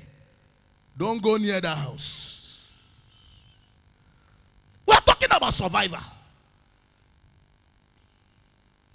That day, there are mothers that were weeping. He, he, he, he. They threw my baby into the river. Crocodile chop him.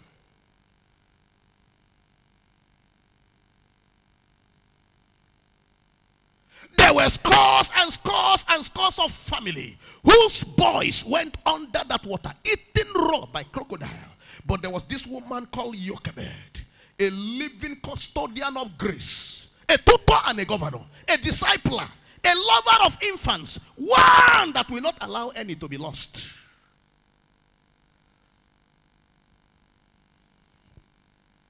She ran home. The baby was still crying. As soon as he brought the, the baby home, no need to press. Wham, wham, wham, wham, wham, wham, wham. The baby sucked and sucked and sucked and slept. The baby slept and slept and slept and slept and slept. I'm trying to bring this story to a point where we can pray. It's opening like this, but let me, I will find somewhere. But listen to me. When the baby began to toddle, and the baby began to understand, little by little, Jochebed taught that boy Hebrew. Amram circumcised that boy. Boy, you are not an Egyptian. In the hand of Jochebed, I can imagine Jochebed. Everybody listen to me.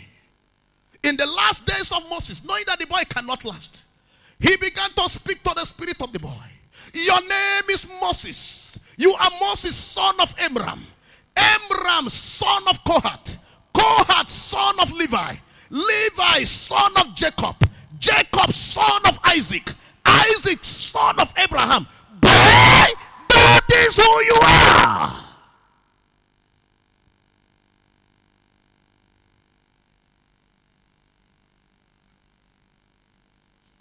There are some of you here. Your boy does not know your God. Your boy does not know your heritage. Your children don't know where you are calling them little, little, little, little, little, little in their days. Will they survive?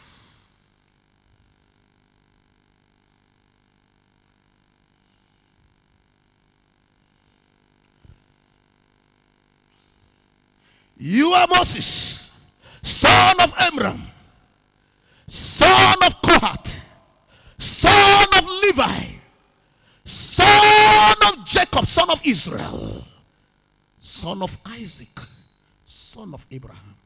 You are not an Egyptian. Boy, you are not an Egyptian. Moses, this you must keep in your heart.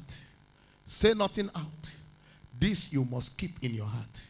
Because the days of reckoning, when you will need to take decisions, will come. Moses, you are son of Amram. Moses, you are son of Kohath. You are son of Levi. You are son of Jacob, who is Israel. You are also son of Isaac. You are son of Abraham. He, she started pumping and pumping and indoctrinating and initiating and inoculating and, and, and sending secret rhema, secret light into the heart of this little boy and taught the boy how to keep his mouth shut because there is a time to talk and there is a time to keep quiet.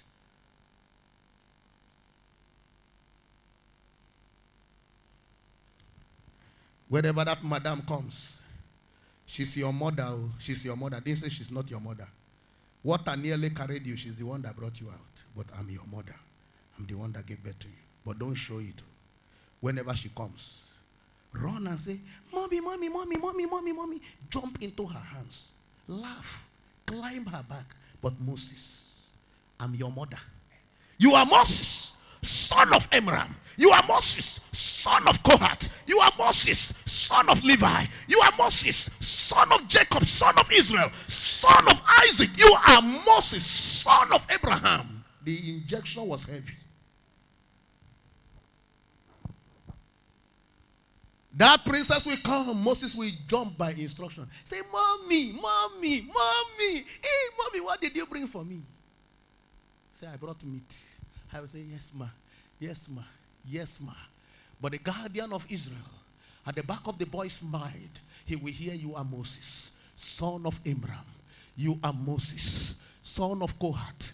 You are Moses. You are son of Levi. You are son of Jacob. You are son of Abraham. He will dance around the woman, but he will keep the revelation of the originality of where he came from.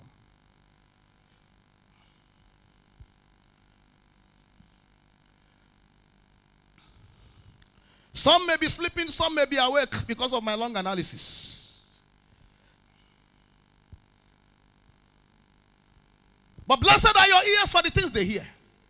Blessed are your ears for the things that are coming. Blessed are your ears because of the survival of your children.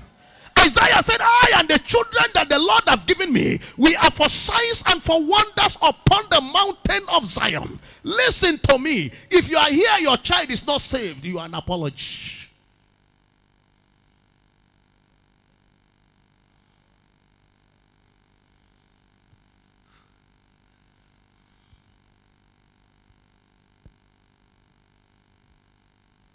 I told this story here many years, some years ago, of a pastor that has a congregation that is about this congregation, about 6,000 people. Everybody in the house saved, born again, filled with the Holy Ghost, wife, father, everybody. But something happened the last born, the very last. And it can always happen. Probably the discipline with which they brought the first, they didn't apply it for the last. The boy went to school and started learning how to smoke. How they didn't know on time. By the time they knew it, it was too late. Everything they did to bring this boy, it was terrible. The boy refused. The boy became an embarrassment to the father. The boy became too bad. The boy became wild, on drugs, on weeds, on drink, wild, partying, fighting. Everything this man did, nothing happened. But I like you to I like to provoke you to jealousy. Look at look at the woman.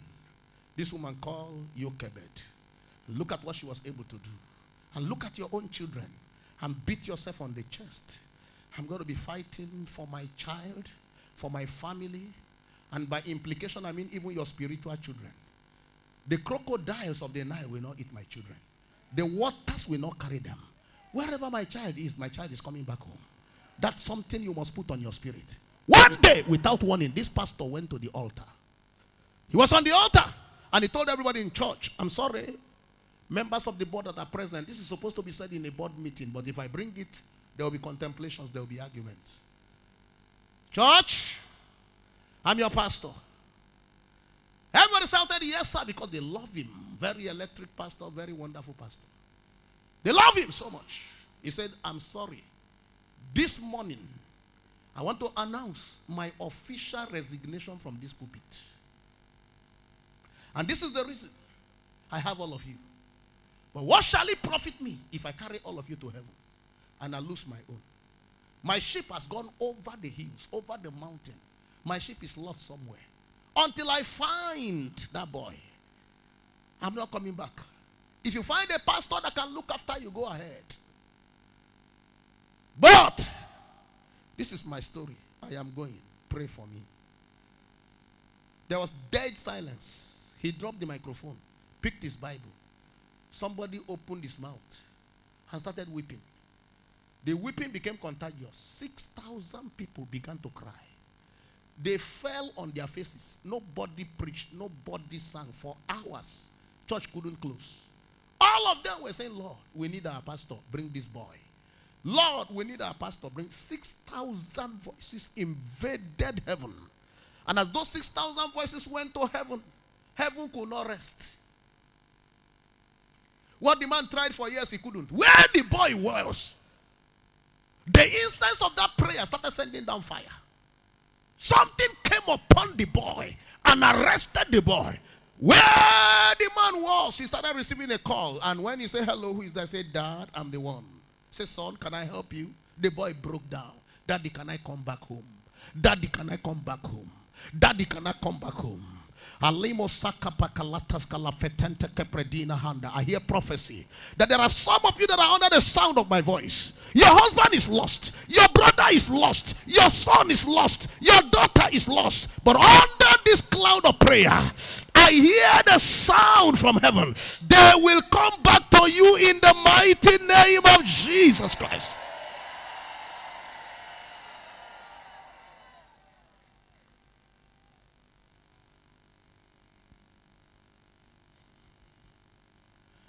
Moses suddenly saw the princess. I said, Jochebed, thank you for all you did. Thank you, thank you, thank you, thank you, thank you.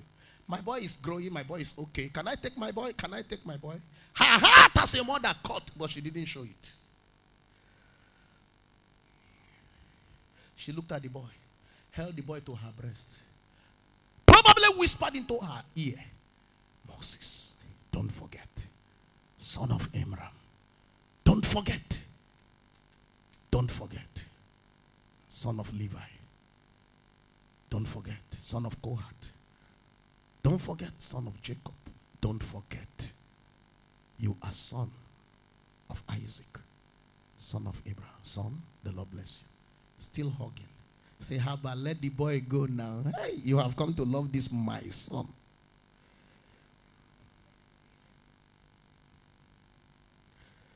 I don't know how many years old Moses was when he was released from the hand of Jochebed into the hand of this woman.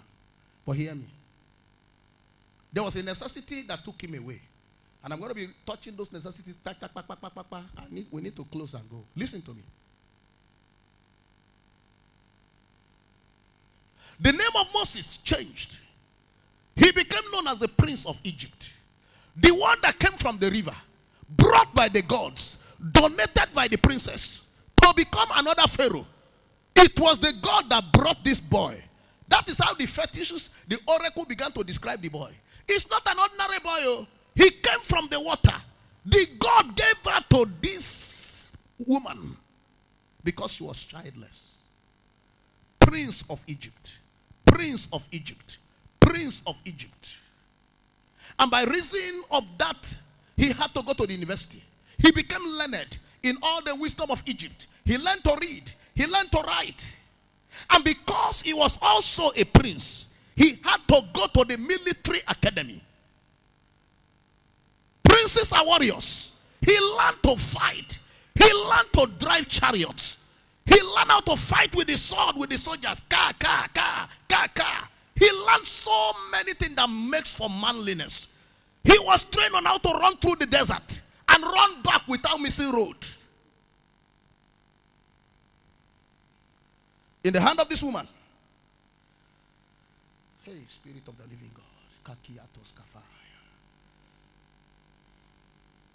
And on and on. The pomposity of the Egyptians were on his shoulder. Everywhere he went, people bowed. Everywhere he went, he was Pharaoh to be. But there was something that Jochebed did that could not be removed. The years of training could not kill it. The idolatry of Egypt could not kill it. Up till today, some of the strongest occult of the world are still in Egypt. The man of the throne on the throne is called Pharaoh, son of Ra. And that Ra means the sun. The sun was their God. And they, they said that it was the sun just like Jesus came as the Son of God, that Pharaoh was born son of the sun. And on the head of Pharaoh, you could always see the shape of a cobra, showing that they worship the cobra. Under that shadow, Moses grew. But what the mother put inside her, those things could not kill.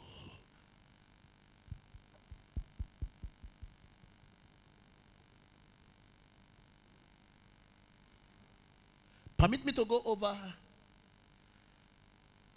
something that is important, but let me just jump over it.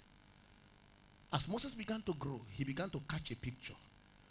Why did God allow me to go to the water? Why did God allow me to come to this palace? Why am I a prince? Why am I a soldier? It began to occur to the boy that these are the plans of heaven.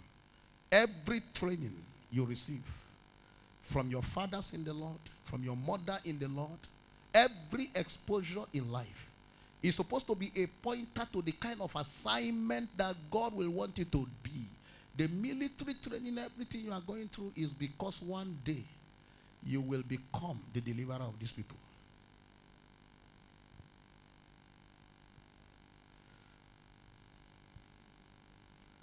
Put your hand on your chest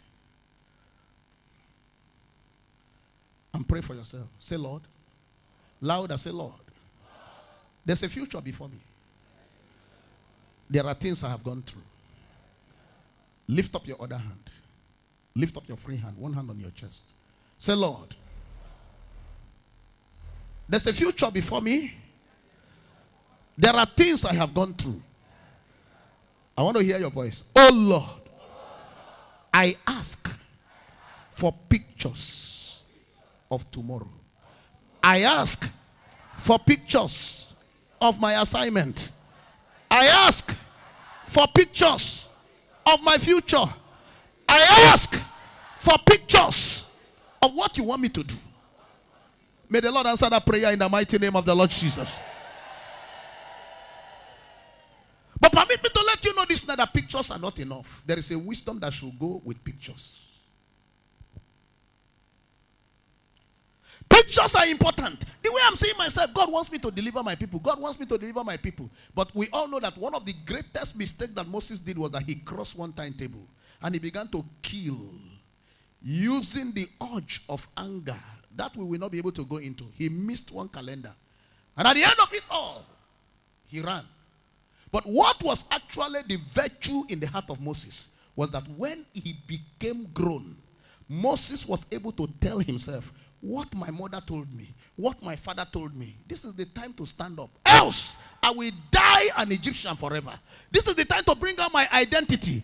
Else, they will crown me king of Egypt. The land of my nativity will be lost. My pilgrimage will be lost. My assignment will be lost. The name of Abraham will be lost. And the Bible says she, he was able to tell himself, I am not the daughter of this woman.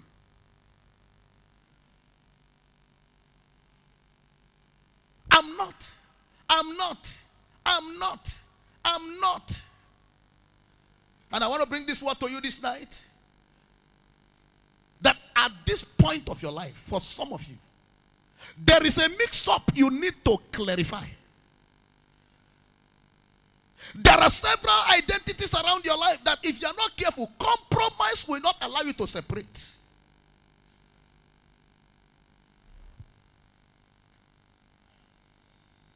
Like I said, I'm jumping for time's sake. But can I ask you a question? Is there anywhere you are at one junction of your life, whether at work, whether at home, the controversy of your stand is under question? Is it possible that you are hearing me tonight? Your father is not aware that you are born again. Your mother is not aware that you are born again. There's one fear that is making you to hide your identity. Moses stood up boldly and said, Whatever be the case, whatever it will cost me, I am not Pharaoh's son. I am not the son of this woman. I am Moses. I am a Jew. I'm a child of God. I have a covenant with God. And he was able to bring out his identity clearly. The cost of it all was that he lost ground. And as he lost ground, he fled for his life. The next phase of what he went through, if God will give me another opportunity, that's where I'll be drawing certain sword and certain strength that will be like part of our power package. If God will give me another opportunity to talk. But for tonight, listen to me. I can't go beyond this point. Listen to me.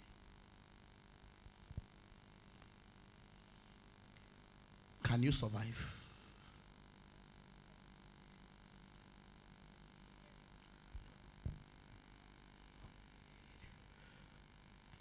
That's the prayer. Can you survive? Will you survive? Will you resolve? Will you make up your mind? Will you come before the Lord and say, Lord, if Daniel survived, he had one nose. If Joseph survived, he had two ears like myself. Lord, I want to survive. Number two, the things that God have committed into your hand, And there are different custodians here. Different custodians. Different custodians. Custodians of children. Custodians of churches. Custodians of little ones. Custodians of foster children. Custodians of employees. Will they survive? Will they survive? I want to draw attention to the initial utterance of this meeting because I'm going to be making us to pray, to pray, to pray. Survive first before. Talk to me. Survive first. Survive first.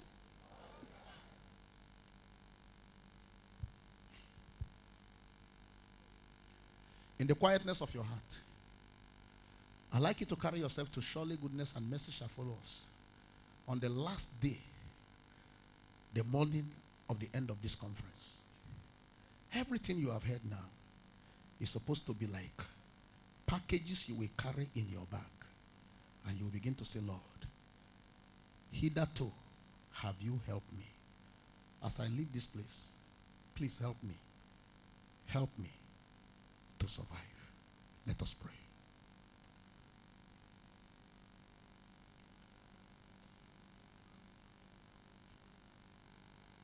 I can't go beyond this point. But let us pray.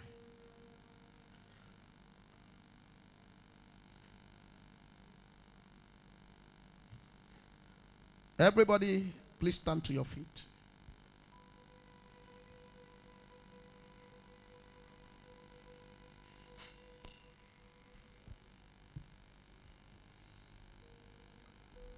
Lift up your two hands to the Father.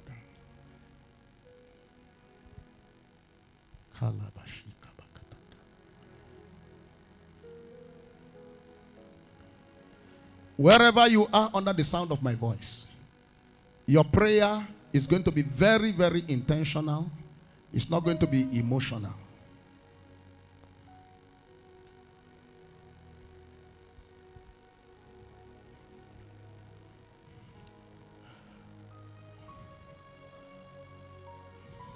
Keep your hands up. I'd like you to begin to call your name before the Lord. Oh Lord, my name is Ameh Amana. Call it like seven times. Please, can you? Please be, be, be intentional. Let nobody's voice be louder than your voice. Call your name intentionally. Call your name intentionally. Call your name intentionally. And after that, begin, begin to cry. Kalaba soto makata. Alakatu legebeshete. Sebebebebebe alabakatana. Not somebody's name, but your name. Your name. Your name. You have been coming to this conference. But let this hour be a different hour. I must survive. Lord, I must survive. Lord, I must survive. Lord, I must survive. Whatever strength, whatever grace, whatever anointing, whatever breath, whatever life, please open your mouth and pray. Don't let your prayer come down. Be alone in the prayer. Forget about whosoever is standing by your side.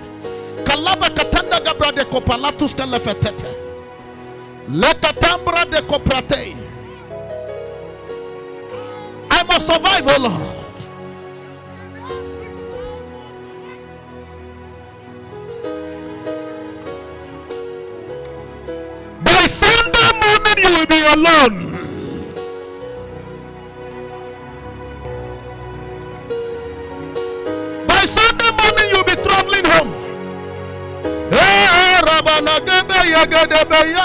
Nege. Alaba kandebo. Salaba natata labonde.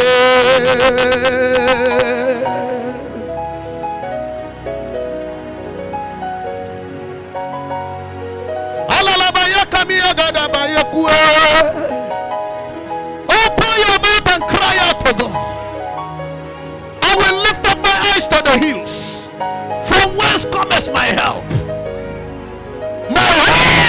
from the Lord.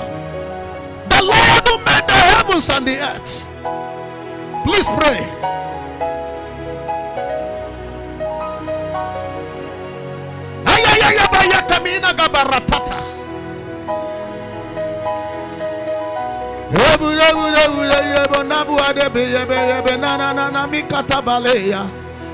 You need to open your mouth wherever you are.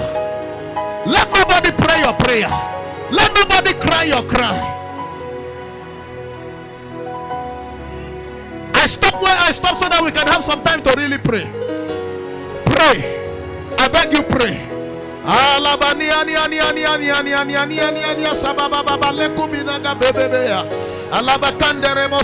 Everybody, everybody, everybody, everybody, I must survive. By your grace, I must survive. Whether the devil likes it or not, Lord. Mayakatanda gabradeko soto bakalatuse. Elekata lekatula bakasata.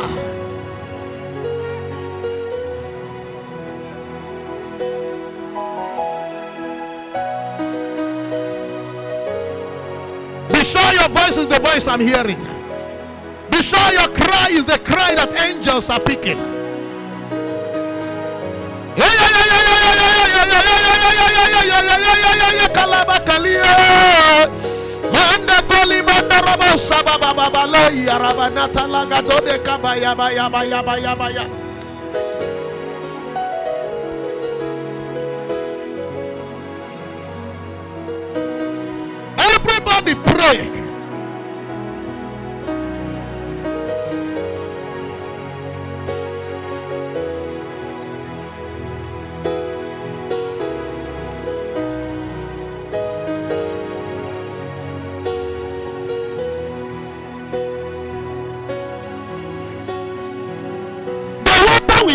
me.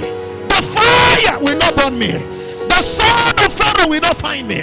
Kayaba kanda batalita naga bradeko palaba satata. Ayaba katanda gabrada kamanta laba katanda gabrade kopala. Elega da da da da da kalata lega besatete.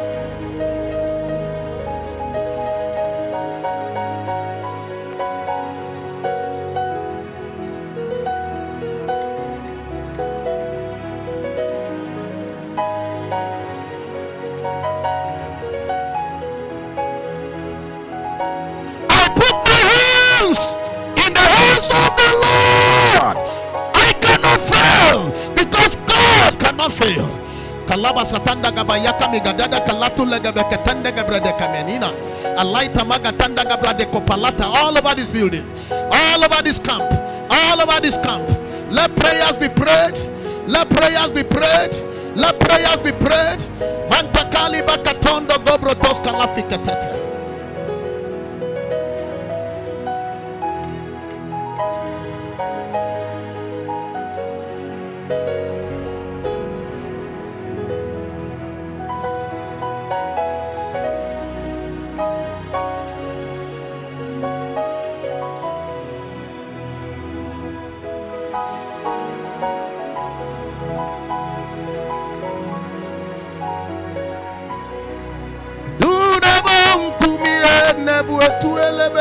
Mandele bonde.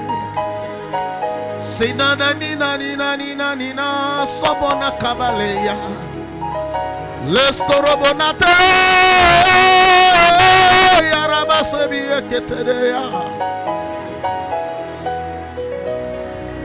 The power of God is all about the camp. The help of God is available.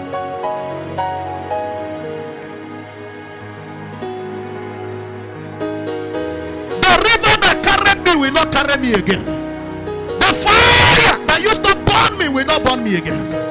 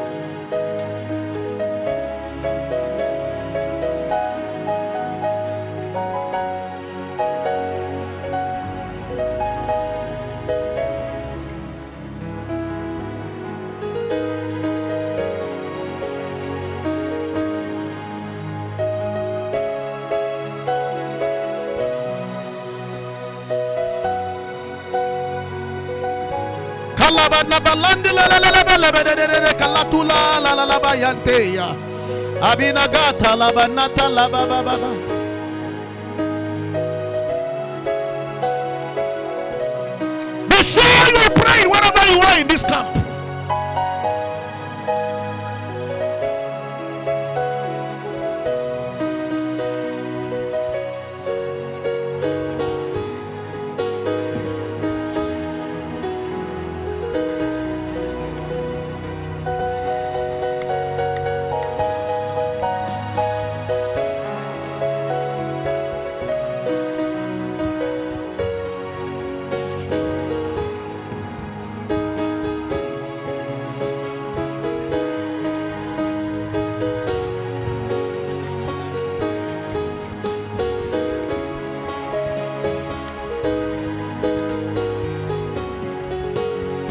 survive.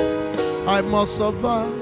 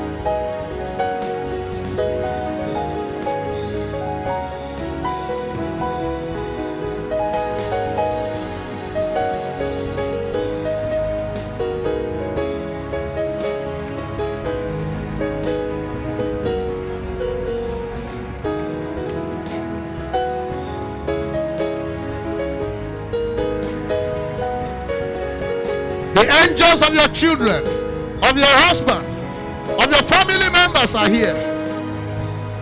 This may be your hour now to raise a lamentation for your child and raise a cry for your family.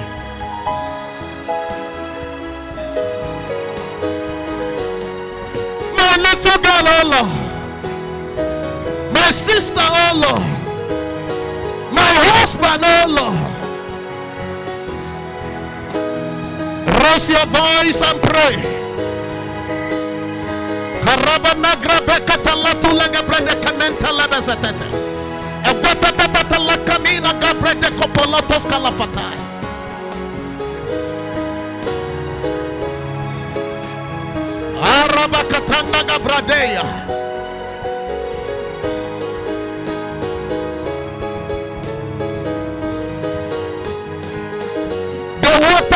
swallow Moses.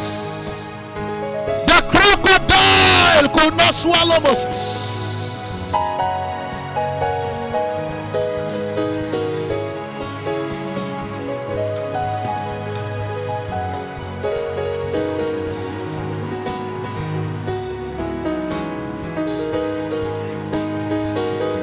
Ayabakatanda gabrade kopala tule gabrade kapele.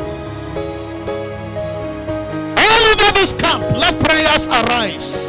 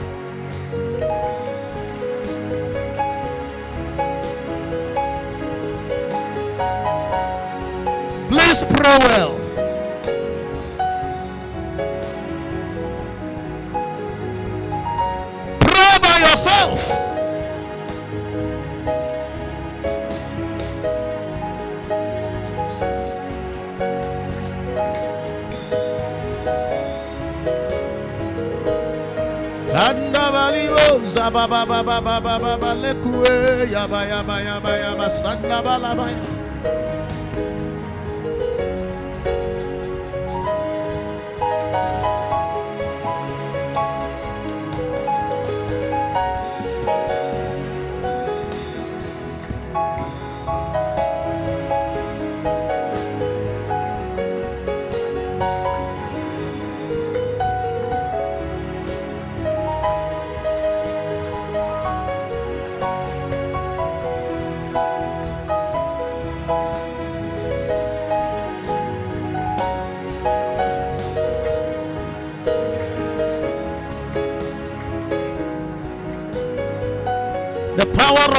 In this camp.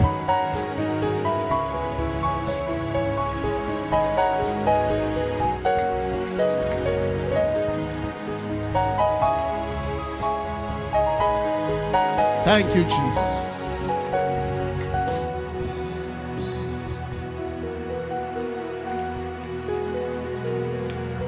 Thank you, Lord.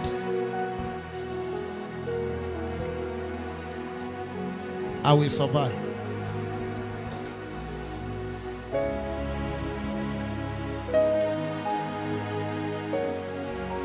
In my time, I will revive.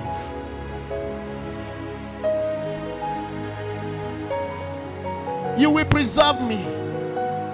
You will keep me. You will hold me.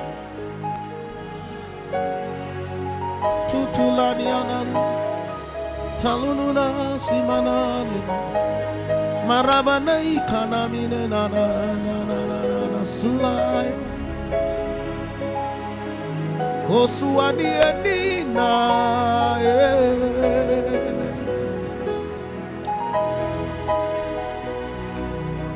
You are my strength. Silabanea. You are my God. Kalabane.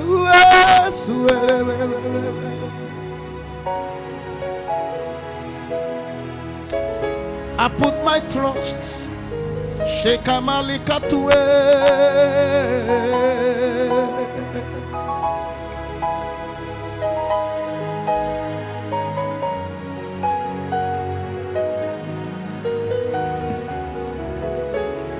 Thank you, Lord.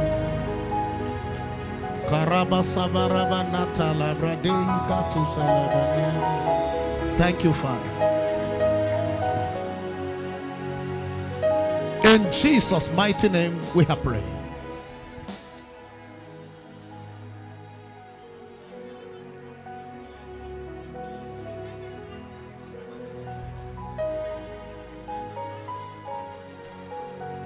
Very intentional, very purposeful. Let it be decisive.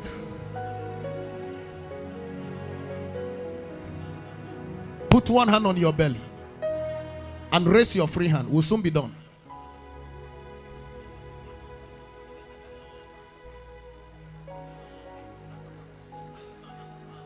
I commission the angels of God that all through this night,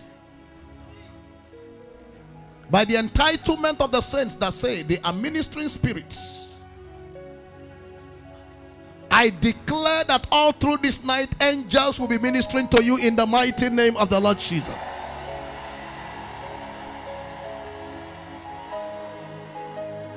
Now, with one voice, everybody say, Father, whatever you have not planted that is inside of me, that is around my life, that is influencing my life, let me hear you shall fire.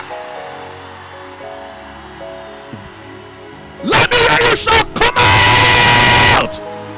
Now open your mouth and pray in the Holy Ghost. Open your mouth and pray. Everybody, sickness, every disease, every pain.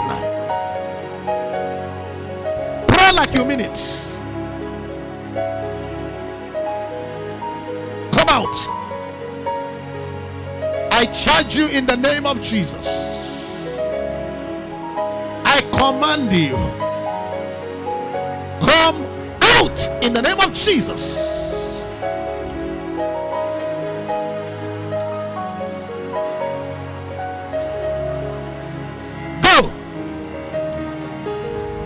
I said go. By fire. By fire. Unbearable fire. Liquid fire. Melt. Die. Come out. Be uprooted. Every fibroid. Every cancer. Every diabetes.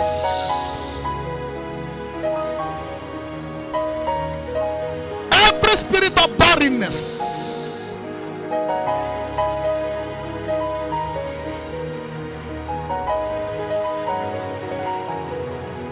You spirit of hepatitis. Corona or Omicron.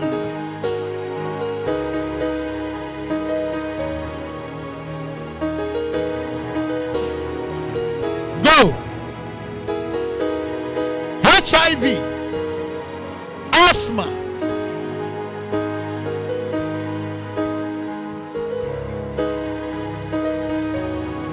Migraine headaches. Strange movement in your body.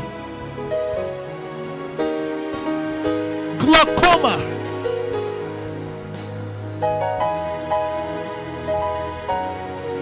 Eye trouble.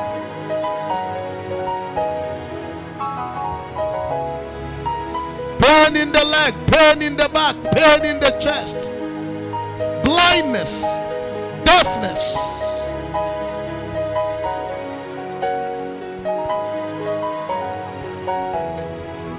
All over.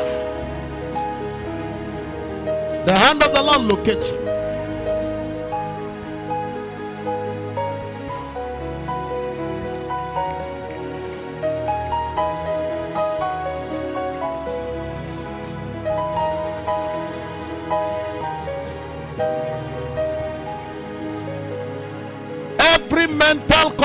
Division in your family.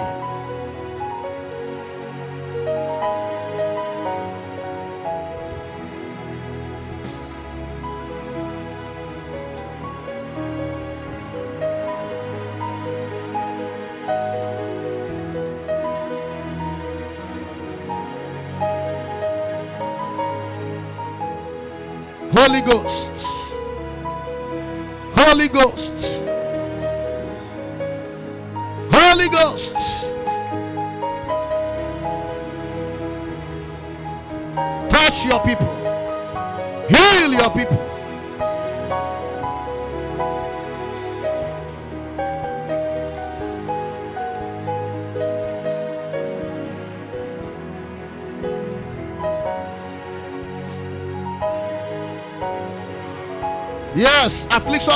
agora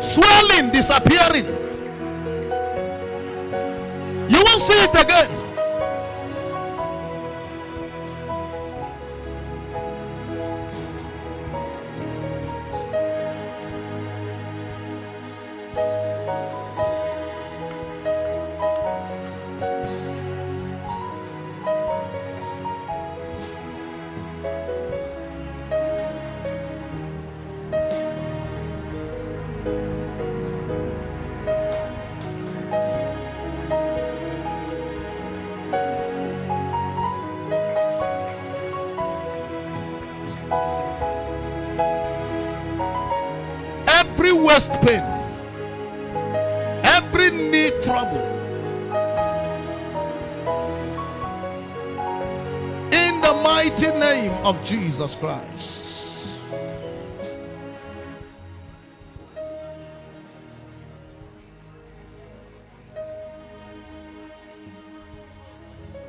Thank you, Lord.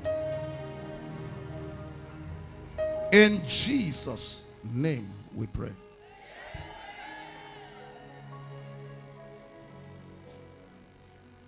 Tonight, Lord, we bring your people before your throne. May the entrance of your word create light. May the wisdom of your word sit in the heart of men. We decree, Lord,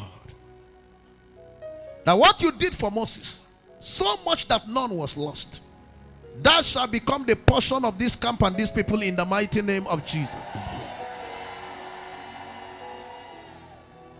We decree that from today there shall be no more losses in the name of the Lord Jesus. Whosoever is lost that belongs to you, by the strength and the wave of this utterance, we command that that prodigal son begin to return home in the mighty name of Jesus.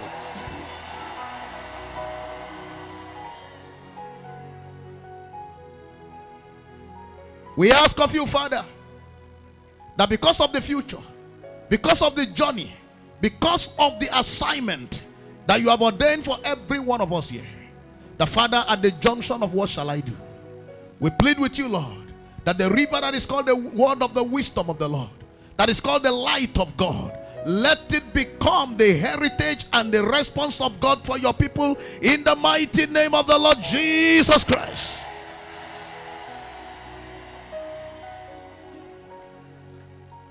We stand in faith against the pharaohs of your territory, the pharaohs of your villages, the pharaohs of the market where you trade, the pharaoh of the school where you work, the pharaohs of the establishment around your life. Father, we bind and we subdue pharaohs in the mighty name of the Lord Jesus.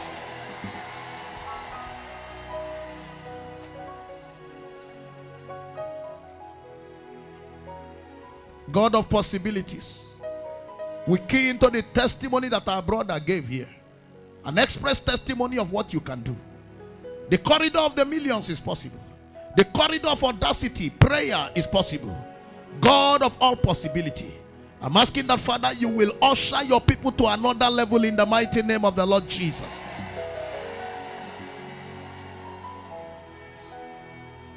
We break the yoke of hurdles. We break the yoke of mountains. We break the yoke of limitations. We ask, oh God, that the breath of your presence will tabernacle over your people. Your people will live. Your people will not die. Every disease, every infirmity, every demon, whatever it is, Lord, that has been mentioned, oh God, by a burden in your presence. I lend my voice in the place of faith. And I say, Lord, in the name of Jesus, their miracles are secured. In the name of Jesus.